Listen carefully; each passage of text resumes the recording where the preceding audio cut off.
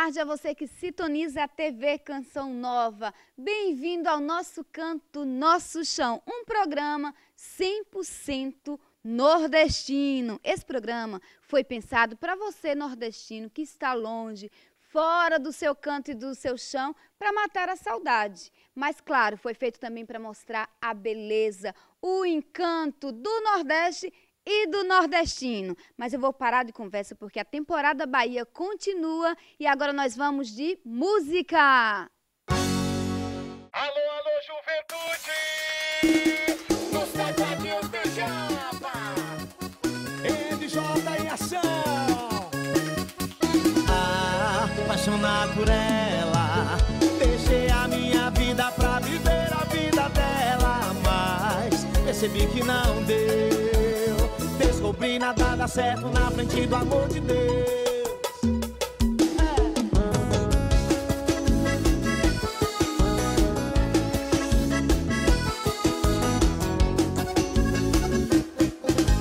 Por mais que se apaixone e queira ser correto.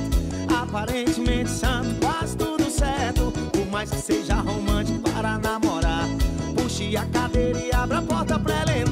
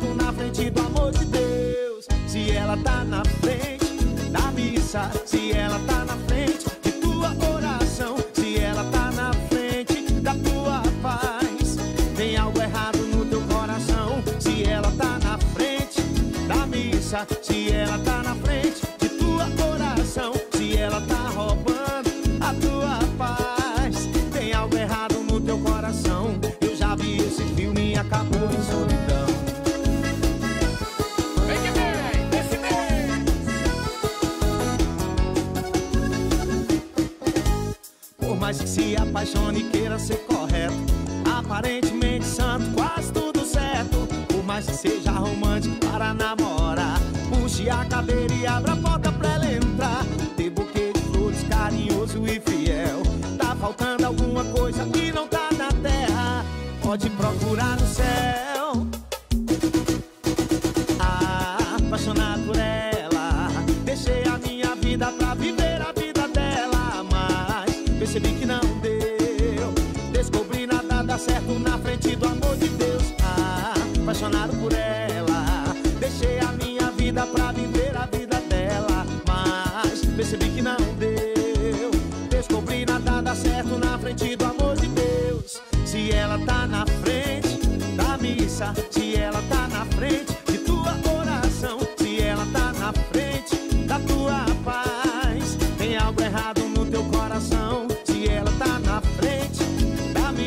Se ela tá na frente de tua oração Se ela tá roubando a tua paz Tem algo errado no teu coração. Eu já vi esse filme e acabou em solidão.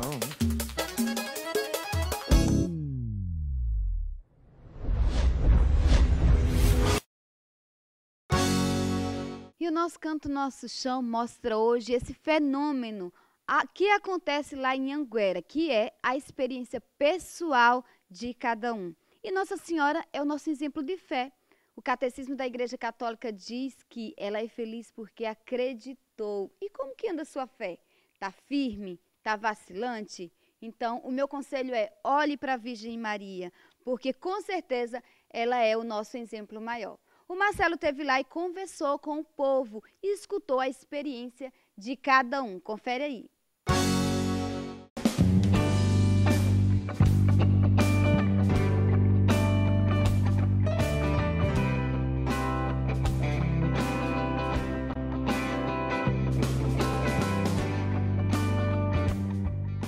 É isso aí, minha gente. Toda a equipe do nosso canto, nosso chão veio até a segunda maior cidade do estado da Bahia. conhecida como a Princesa do Sertão, nome dado pelo escritor Rui Barbosa. Mas o que Feira de Santana tem? Além de ter como padroeira Santa Ana, é também um lugar maravilhoso para se visitar. Existe uma abóbora gigante no meio da cidade. Você também encontra Feiraguai, o que é o Feraguai? Bom, você que é um comprador de plantão, você encontra de tudo aqui. De tudo e mais um pouco. Um casarão neoclássico maravilhoso do Barão de Frois da Mota. E também você pode, que gosta de observar as estrelas, aqui existe um observatório maravilhoso, Observatório de Antares, assim como também o Museu do Sertão. E para quem gosta de culinária, dizem por aí que o bode daqui é maravilhoso. Mas também existe um povo de muita fé, de uma religiosidade muito expressiva. E é isso que nosso Canto Nosso Chão quer mostrar para você nesse lugar maravilhoso. Vamos com a gente?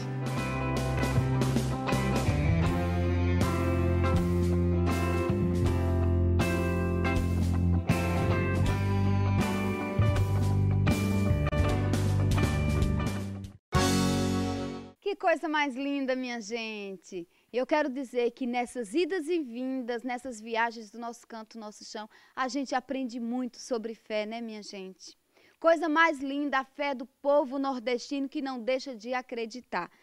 E a nossa equipe foi para uma cidade perto de Feira de Santana, Anguera, e conhecemos um povo que vive uma fé impressionante. Confere aí.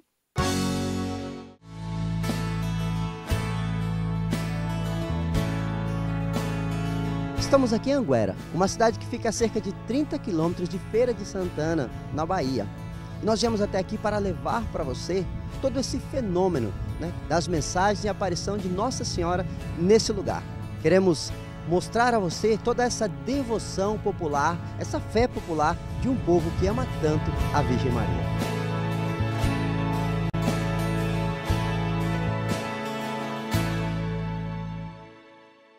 E aqui, minha gente, Anguera é um lugar de peregrinação. Pessoas que já vêm aqui há muito tempo, já conhecem essa história de 30 anos, mas também pessoas que estão vindo pela primeira vez. E encontrei aqui e agora eles vão falar com a gente. É, que, como vocês conheceram né, esses lugares? Primeiro pode dizer o nome de vocês para quem está em casa, para as pessoas conhecerem o que faz, mas como ficaram sabendo dos fenômenos que acontecem aqui? Através das minhas amizades com os amigos, dos companheiros da igreja, dos irmãos da igreja. Eu sou dona de casa, sirvo da igreja há muitos anos também. E eu só ia ficar esse tempo todo eu fiquei muito apaixonada, me arrepio. Fiquei muito apaixonada e a primeira vez que eu vim, fiquei emocionada hoje aqui. Muito emocionada, gostei muito, muito, bastante. É, eu me chamo, me chamo Genilson de Valente. Através de amigos e dos movimentos de igreja, a gente ficou sempre sabendo, ansiedade com os livros. E as histórias de Pedro a gente acompanha pelo Face estamos sempre com ansiedade, nós vai, nós vai, e sempre mudando, para o ano nós vai, para o ano nós vai, esse ano nós vai fica para o ano, esse ano nós vai fica para o próximo. E graças a Deus estamos aqui, cumprindo, matando nossas ansiedades, nossos desejos, muito satisfeito. É, superou minhas expectativas, estou muito satisfeito e grato a Deus por tudo. E o, o que que Nossa Senhora representa para vocês? Ah, nossa Senhora é a nossa mãe, é a mãe do mundo, a protetora. Inclusive eu tenho ela como a madrinha de meu casamento, a madrinha de meus filhos, a minha protetora. A Nossa Senhora, é, para mim, é tudo.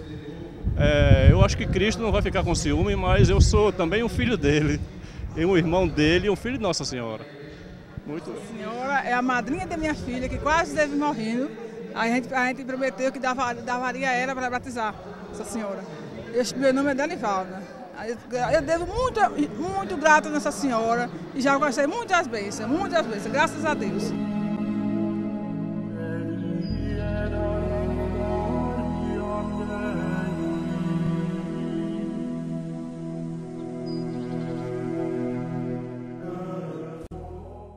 A presença de Maria na minha vida já agiu várias vezes. Eu, em 2009 2010, tive um problema de depressão foi com a devoção a Nossa Senhora que me libertei deste mal. Recentemente eu fiz um, um exame das carótidas é, no ano de 2016 e foi comprovada que estava mais de 50% comprometida. Ou seja, teria que tomar um medicamento para aumentar e se continuar teria que fazer o cateterismo. De lá para cá com muita oração, muita reza do terço e no mês de outubro fiz novo exame e recebi um presente de Deus de Nossa Senhora. Nada. 100% ótima, minhas. Né? Em relação aqui, né, na- né, aqui nessa fazenda, é, Nossa Senhora de Anguera, a igreja particular, ela sempre tem uma questão de prudência. Desde a época dos outros bispos, como agora o nosso pastor Dom Zanoni. Mas a gente vê sempre sinais de, de fé do povo. Sou testemunha aqui várias vezes que eu venho aqui, muitas caravanas que vêm de vários estados, várias cidades aqui da Bahia, até fora do país também. E a as confissões. Quantas pessoas procuram as confissões? É um momento de muita devoção mariana, de muita piedade, que leva as pessoas a seguir mais a Deus e a Nossa Senhora. Então a devoção de Anguera, como eu disse, traz algo também ah, especial, que é essa questão da oração, da, da, da confissão, do movimento, da piedade. E agora cabe à igreja, que é ela que toma as decisões, de questão de prudência, ver eh, nesse período de tantos anos eh, o que é que, que pode eh, ser realmente determinado. Isso não cabe a mim, que eu sou um- um- apenas um sacerdote, mas tem uma comissão juntamente com o arcebispo Dom Zanoni, que pode realmente afirmar com mais clareza, mais fi- fidelidade.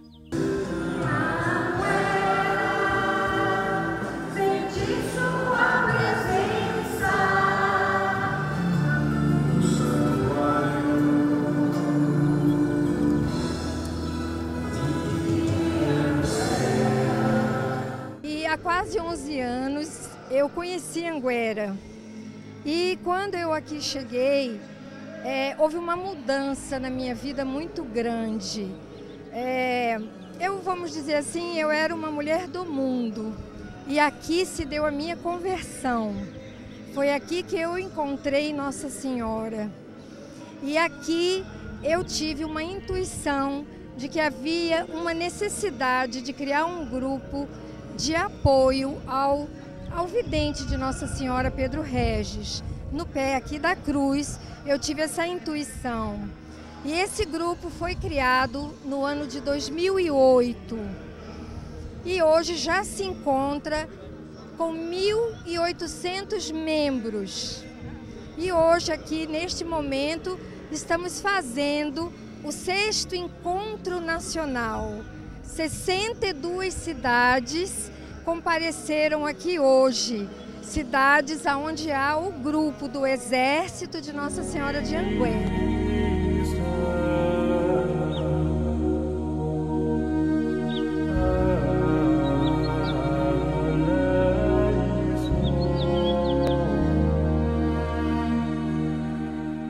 foi eu ver um milagre acontecer na minha vizinha. Eu, num momento bem difícil da minha vida, que eu estava para me separar do meu marido, e eu vi acontecer um milagre. A vizinha que estava com a filha no hospital para abortar o bebê, porque o mioma, ela engravidou com mioma, e o mioma crescia mais do que o bebê. E nós rezamos nesta mesma noite, que a pessoa chegou lá falando de Anguera. No dia seguinte, o milagre. Não precisou de cirurgia, o a menina parou de gritar com dores, a Yolanda, e a partir daí eu vi o milagre acontecer. A menina não precisou da cirurgia de matar o bebê. Então eu digo, se ela conseguiu a graça, eu também vou. Aí vim com meus filhos, pequenininhos ainda, e aqui eu entreguei a Nossa Senhora aos pés da cruz, minha parte de mãe e de esposa. E o milagre aconteceu.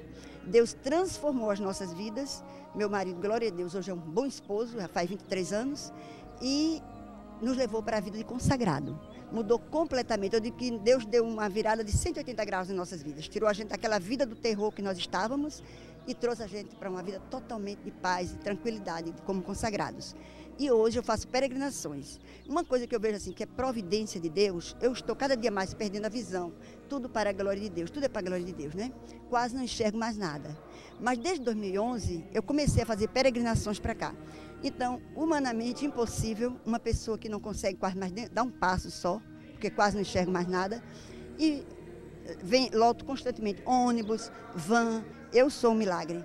E, e olhe, eu disse, mas por que não está enxergando? Deus sabe o porquê. Se eu estivesse enxergando, talvez não tivesse essa missão.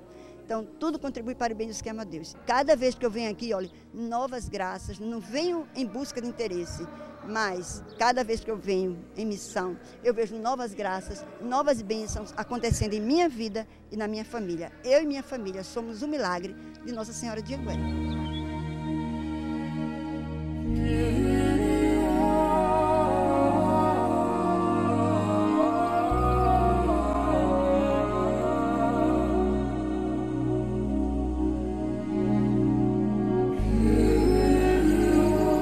Já frequento esse lugar há 20 anos e o que mais me chama a atenção aqui é a conversão das pessoas. O meu testemunho é esse porque antes de conhecer Anguera, eu era uma pessoa e depois de Anguera, a minha vida mudou totalmente. Realmente no caminho da conversão, mas assim, sempre um, um apelo, uma busca muito forte de conversão, de mudança de vida o tempo inteiro. Isso eu encontrei aqui.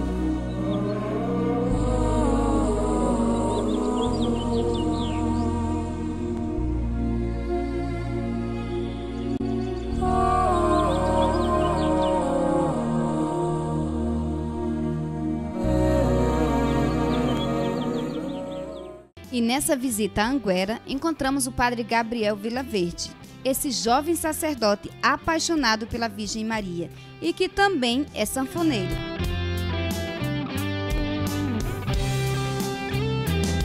E quando eu chegava aqui em Anguera, Nossa Senhora dizia: Acreditai firmemente no Evangelho do meu filho Jesus. E se Nossa Senhora manda acreditar, eu acredito piamente no que está escrito na Bíblia. Eu já estava no seminário e aí comprei o instrumento e comecei a pesquisar na internet, né? E aí descobri um, um senhor do Rio Grande do Sul que ensinava através de um canal no YouTube. E aí fui olhando, assistindo e consegui aprender alguma coisa. Na verdade, tudo aquilo que é lícito para a evangelização nós devemos fazer uso, né?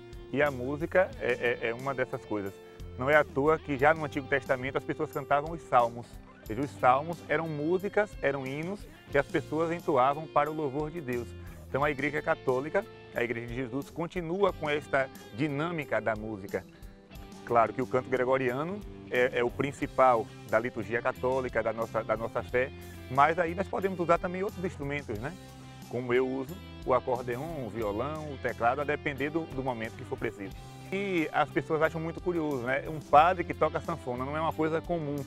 Então, quando se fala assim, o padre que toca sanfona vai para algum lugar, aí até mesmo aqueles que não são de igreja vão por curiosidade e chegando lá esquecem o padre da sanfona e conhecem Jesus através da música.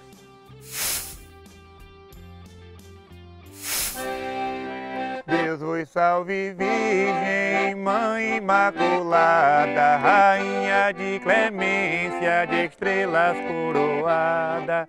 Vós acima dos anjos, sois purificada, de Deus a mão direita, estás de ouro ornada. Por vós, Mãe de graça, mereçamos ver a Deus nas alturas, com todo prazer. Pois sois esperança dos pobres errantes e seguro porto para os navegantes.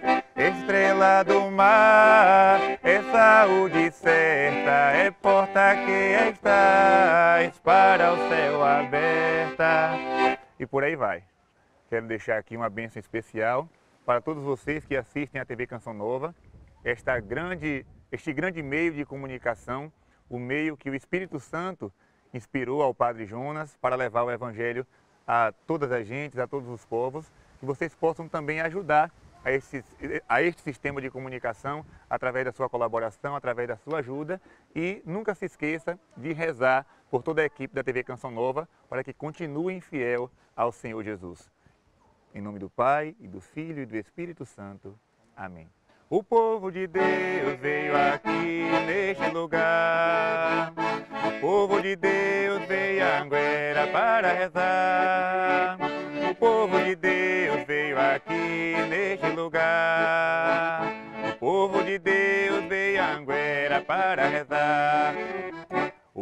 De Deus que ama Maria veio aqui. Pois todos sabem que ela aparece neste lugar. Não tem que segure este povo de Deus quando quer rezar. Se une a Maria diante de Deus para suplicar. Que bonita essa devoção ao povo, esse amor pela Virgem Maria, que é uma experiência pessoal de cada um, né, minha gente? É, e é para isso que a Canção Nova existe, viu? A Canção Nova existe para levar o nome de Jesus, para tornar ele mais conhecido e mais amado. E claro, também para ajudar nessa devoção mariana, porque o Padre Jonas sempre fala, aqui na Canção Nova, foi ela quem tudo fez. Qual é a tua experiência com Nossa Senhora? Talvez você tenha dificuldade com a tua mãe aqui na terra e, consequentemente, você tem dificuldade com Nossa Senhora. Talvez você ainda não aceitou ela como mãe. Meu filho, não queira ser órfão, não. Nossa Senhora está de braços abertos te esperando. Quer dizer que eu tinha essa dificuldade com Nossa Senhora e um dia eu estava vivendo um momento muito difícil da minha vida. E eu lembro que eu falava assim: Jesus, manda alguém para me defender. Mande alguém para me defender. Era a minha única oração. Eu estava sendo caluniada e foi um momento muito difícil. E é engraçado que eu lembro que quando eu cheguei do trabalho, o porteiro entregou algumas duplicatas, alguns documentos que o correio tinha, é, trouxe. E entre esses documentos tinha a revista da Canção Nova. E quando eu abri a revista da Canção Nova, ela tinha mandado para todos os sócios fiéis um livrinho. E sabe qual era o nome do livro? Nossa Senhora da Defesa. Aí eu lembrei da minha experiência. Jesus, manda alguém para me defender. Foi ela, naquele momento, que me defendeu, que veio em meu auxílio.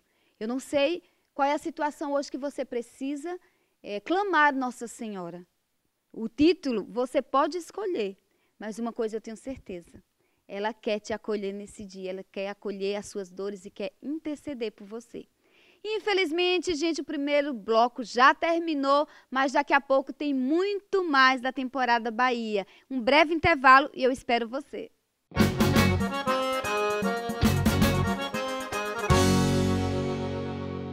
Voltamos com o nosso canto Nosso Chão Nova Temporada. Já passamos pela capital baiana, Salvador, Paulo Afonso e hoje nós estamos em Anguera, uma cidade que acontece um verdadeiro fenômeno de fé. E a nossa equipe bateu um papo com Pedro Regis, que é um rapaz que sempre foi católico e que faz essa experiência forte com Nossa Senhora. Confere aí. E